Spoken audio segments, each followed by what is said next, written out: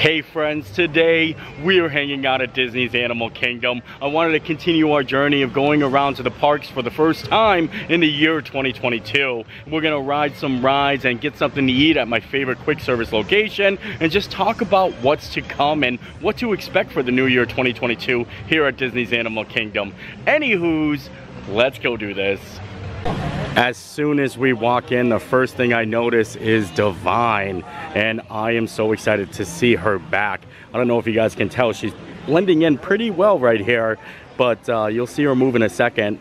And sometimes she can scare people because she just like blends in perfectly.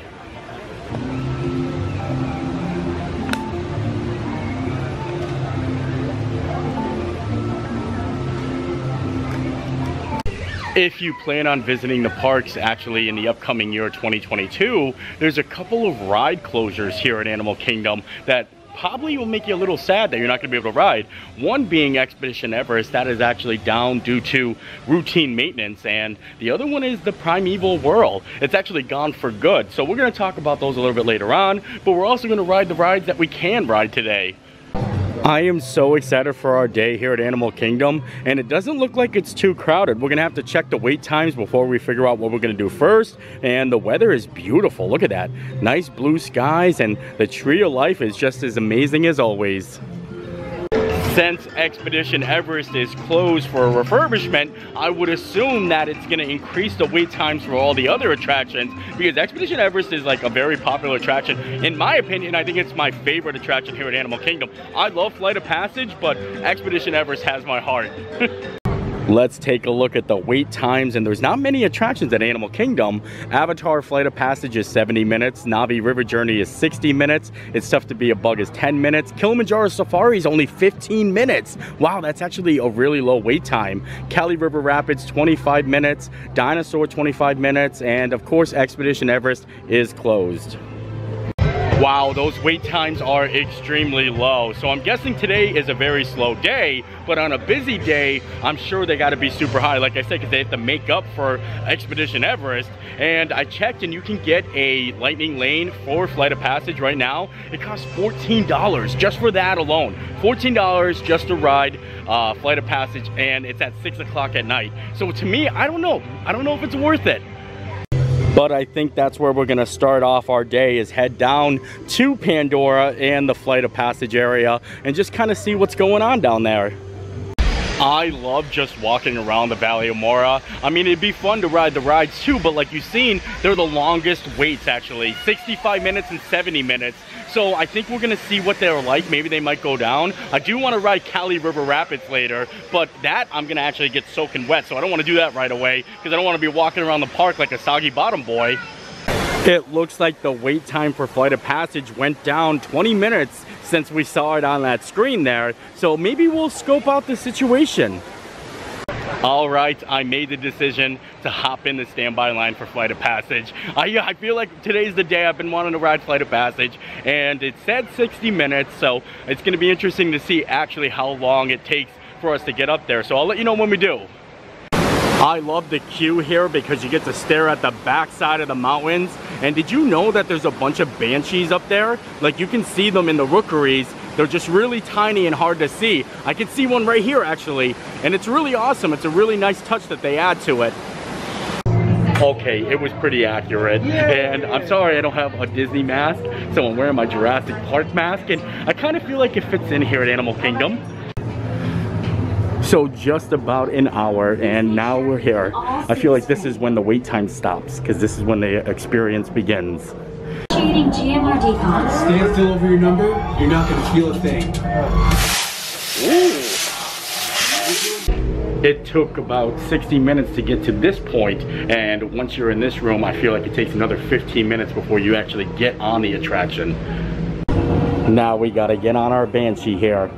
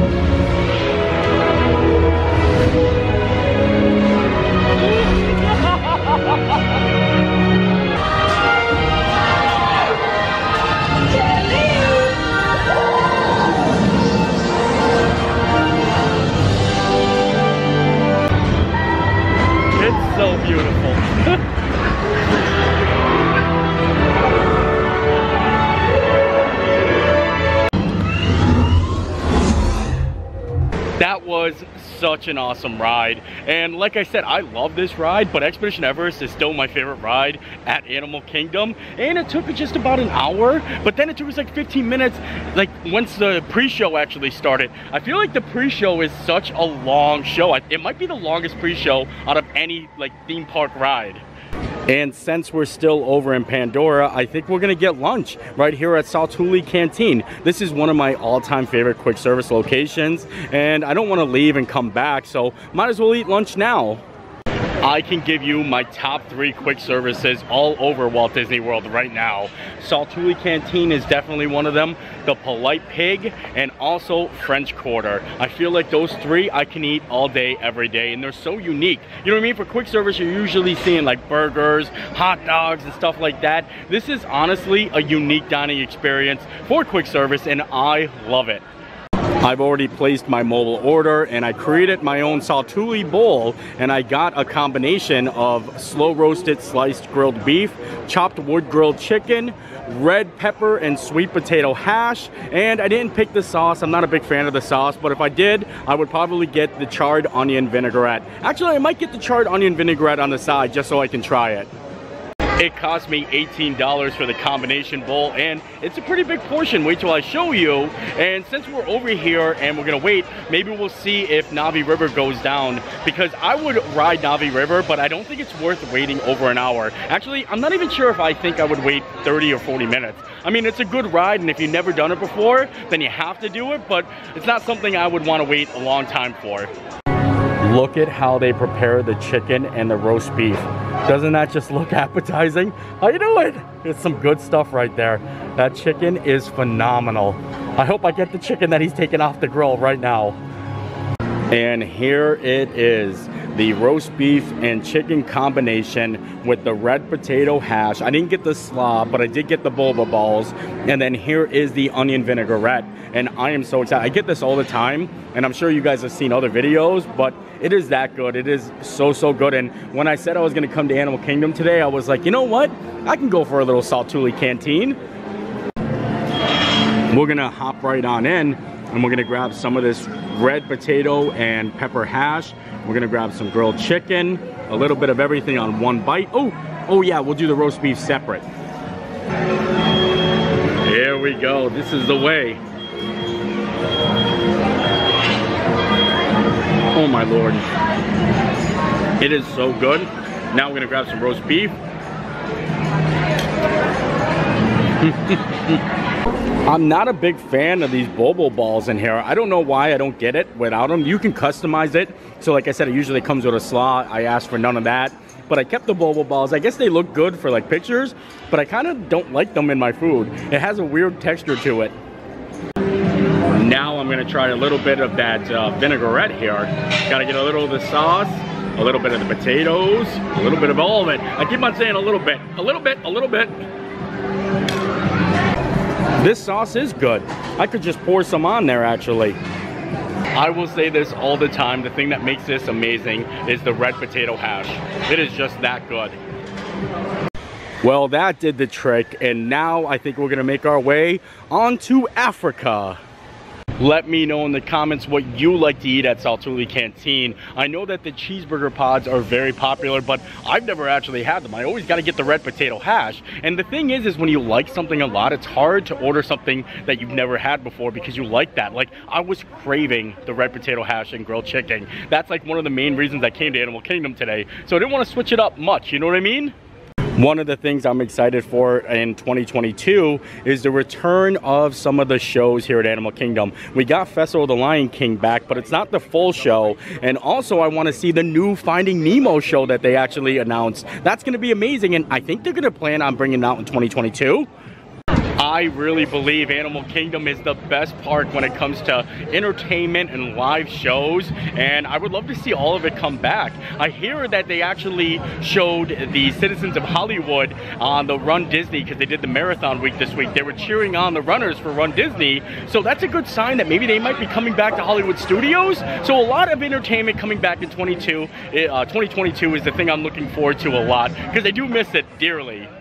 Now we're gonna head on over to Kilimanjaro Safaris and I'm pretty sure it's gonna be a walk-on. There is no wait for this right now. The best time to come to the parks, uh, well the best time to come to Animal Kingdom is after two o'clock because I feel like everybody comes and they actually like do all of the uh, big rides and then they leave. They hop to another park. So after two o'clock, there's always standby waits with like 10 minutes and walk-ons and it's a lot better.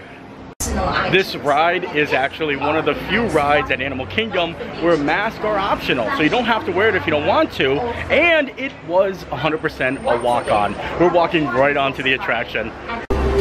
Look at how awesome this is. Kind of just walking right down in there. Yeah, I like it. Here comes our safari vehicle. It looks like we're getting Simba 1. Oh.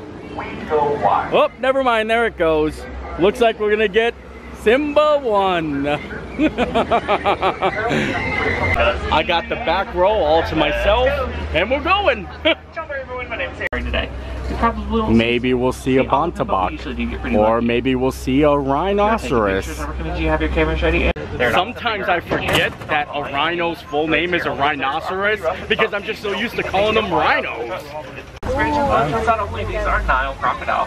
Nile crocodile are the largest species of crocodilian here in Africa. They grow to an average of 16 feet long. It's the same size as the average height of a giraffe.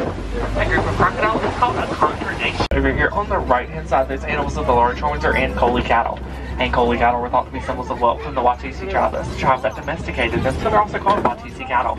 They have a large honeycomb-like structure in their horns to help regulate their blood flow to maintain their body temperature. That's kind of like built-in air conditioning. Now over here on the left-hand side, they're actually pretty close to us and pretty easily seen for right now. These are African wild dogs, also called African painted dogs. They get their name for their coat coloring. We are not going to whistle at any of the animals. Oh, we got a baby giraffe. These Look are at that. wildebeest on the right, left and right.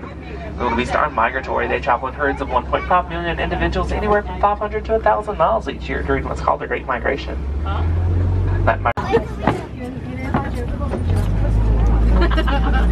Just a giraffe passing by here.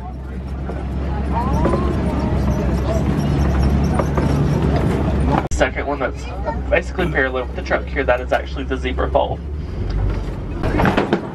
We're going over the bridge and it doesn't make that sound anymore. It used to make like a creaking sound like we're about to fall. I loved it so much. I wish they'd bring that back.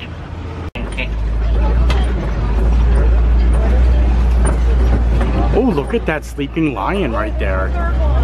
Oh, there's another one down there too. I never see them on the outside like that. Those are ostrich eggs, and there's a bontebok laying down over there as well. A bontebok. Ostrich egg is the equivalent to about two Ooh, an ostrich too. They weigh around three pounds apiece. Oh, boy. A fully grown adult can stand on the top of the shell without cracking it because the shell is as hard as concrete. For the most part, the safari is a hit or miss attraction. The animals have like the right of way, so Disney can't control the animals. So if you don't get to see a lot of the animals, uh, there's nothing they can do about it. Today, I kind of feel like it was a little bit of a miss. There wasn't many animals out. They were actually tucked away. We got to see some giraffes, uh, but no rhinos or rhinoceroses, rhinoceroses, rhin rhinoceroses. But we didn't get to see many of those, and uh, maybe next time. It's always good to come in the evening, though. I feel like it's feeding time. Rhinoceros, rhinoceroses. Now we're gonna continue our lap around and we're gonna head towards Asia. From Pandora to Africa and now Asia. I was just walking by this sign right here and wait till you see the wait times for Flight of Passage in Na'vi River. I was kind of a little shocked. Uh, right now I think it's almost five o'clock. It's four o'clock and Avatar Flight of Passage is 55 minutes, Na'vi River 70. Isn't that insane? Wow, that kind of blew my mind there.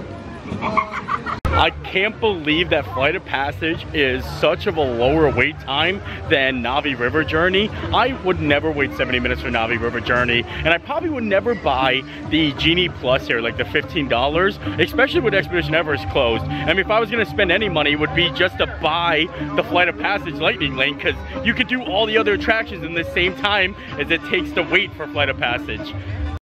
And now it's time for Kali River Rapids. I seen on the uh, wait time board that it was only a five minute wait, so we're just gonna be able to walk on that. But first we need to stop and get ourselves a plastic bag. I don't want to get the camera wet and I want to film on the ride so I can show you guys. So I grabbed a little plastic bag and at the last second I'm gonna put the camera in the bag so it doesn't get wet. But I might get wet. And look at that, five minutes, a nice walk on. So we waited 60 minutes to ride Flight of Passage. We walked on Kilimanjaro Safaris and now we are walking on Kali River Rapids. Two walk-ons and one 60 minute wait. And also, all riders must wear shoes. Don't try to take your shoes off so you can save them from getting wet. They don't allow it here. Oh boy, I really hope I don't get too wet. I mean, I know I might get a little bit wet, but I don't want to get soaked. I should have brought a Universal Studios poncho. One. One They used to have like a poncho here where you could put your stuff in there and it wouldn't get wet, but they took it away. So that's why I brought this and it's gonna work perfectly. Sometimes you maybe you could put it on your head, but I wouldn't recommend doing that. It's actually very dangerous. Do not do that. Don't do it. Oh, we're coming up here. One of us is gonna get wet. Only one, only one side of the boat gets wet, and it's probably gonna be me. Look at the crocodiles, the elephants, the lions, and then also, you can see a lion or a tiger's face in the rock work right here, straight ahead. Let me know if you guys can see that. It is really awesome, isn't it? It's kind of like a hidden Mickey, but it's a hidden Lion King. Oh, here we go. We're heading in.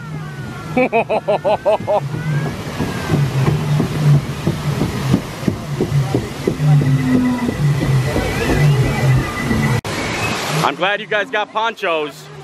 You're gonna get wet, not me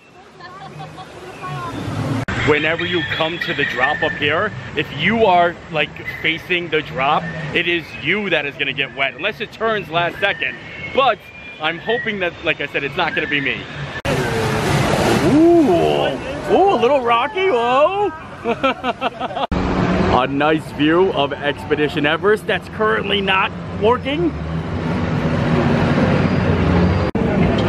All right, here it comes, the moment of truth. Got to get the bag ready. No, no, no. Keep spinning. Oh boy. Oh boy. Oh boy. No, no, no, no, no, no. Oh no. No. Ah! Ah, the bag. Woo! oh, oh, my phone. it me. the bag didn't help either. ah! Oh! Ooh, boy. Coming in hot. Oh, they shut off the water. Oh, no, they didn't. Ah! Ah! Ah! Oh, watch out now, duck! Duck! Duck! Duck! oh! Oh! Oh, my phone! oh, someone's up there using the elephants. Ah! Well, oh. Look at that. I see you up there. I know who did that. As we're getting off the ride, look, there's nobody getting on. I'm not too sure if there's water in the mic or not, so if this sounds funny, or if you can't hear me at all, you probably know why. And usually I go and ride Expedition Everest after riding this so I can dry off, but I don't know what to do. There's not really a dry off ride here. I'm gonna have to just shake my glasses. I'm gonna have to shake them to get all the water droplets off. I can't use any of my clothes to wipe them because they're soaking wet. Like, this is soaked. I could string out water. Now it is my turn to actually get people wet with the elephants here. You have to line it up perfectly. Any second now. Here we go.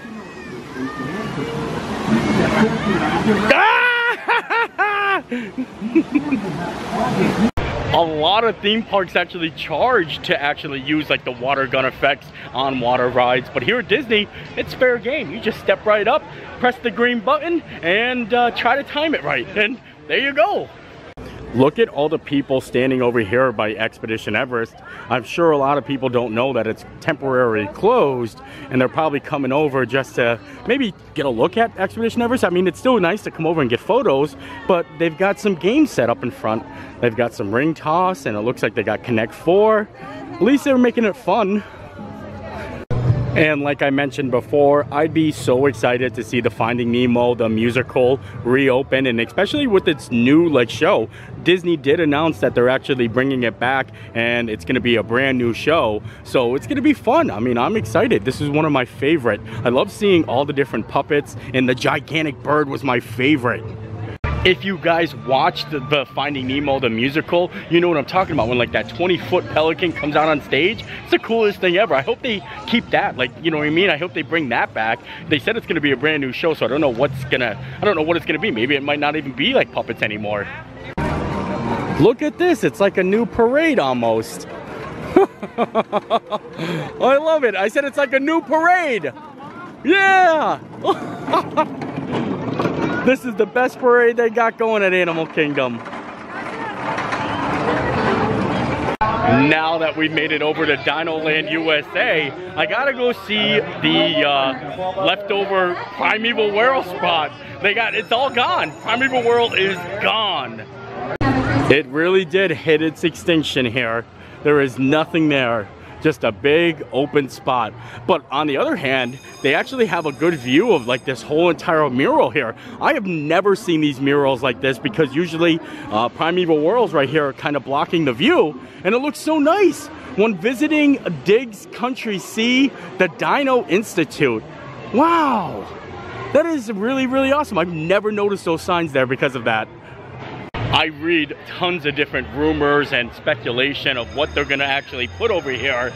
But honestly, nobody knows except for the people that are doing it. Nobody knows except for Disney, I guess, and people that are working on the project itself. But let me know what you guys would think it would be like a cool like attraction that they can actually put right here. Maybe another dinosaur one? Or do you think they should actually do a whole like themed area? I mean, there's a lot of possibilities, especially here for Animal Kingdom. It also looks like Dinosaur has a five minute wait, but I don't know if we're gonna have time to ride that today. And also they still have the Christmas decorations up, so you get to see Dino all lit up here. Isn't it so pretty? I love the Christmas decorations at Animal Kingdom. I don't know when they're gonna take it down. Today's like January, uh, January 9th. This is something new. They have an Encanto stage, and I love the Encanto movie. I thought it was so fun, and I thought if I was a part of the family, what like magic I would get or what special ability I would have. What would you guys want to like have as a special ability? I would like to have like the power to heal, or I would like to have uh, invisibility, super strength. There's a lot of amazing things that I wish I could have, but I like the movie, and maybe there might actually bring some Encanto things here at Animal Kingdom. You never know. I mean, they got the stage set up. And now we are back where we started. I thought about sticking around to watch the uh, projections on the Tree of Life or the Tree of Life Awakening, but that's still like a while away. I can't believe how much we got accomplished in a little time. It usually starts to get dark out here in Florida around 5.36, and it's not even 5 o'clock yet. That is mind-blowing. And now I believe we are done here today. We made a full lap around Animal Kingdom. We got to have lunch. We rode three attractions and I feel like that is amazing. We were only in the park today for three hours. Three hours and we got all of this accomplished. So I'm very happy with the day. Like it was a fun, easygoing day. And uh, yeah, I hope you guys enjoyed the video because I enjoyed making it. We'll see you next time. Bye.